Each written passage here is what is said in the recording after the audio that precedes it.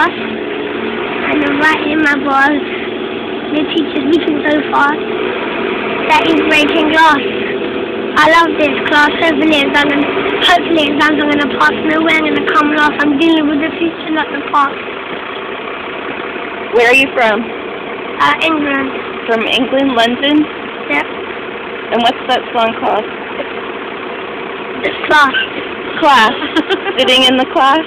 Yeah. Dealing with the future, not the past? Yeah, dealing with the future, not the past. Yeah. How old are you? Eh, Hey, You're eight? And what's your first name? Micah. Michael? No, Micah. Mike. Micah, M-I-C-A-H.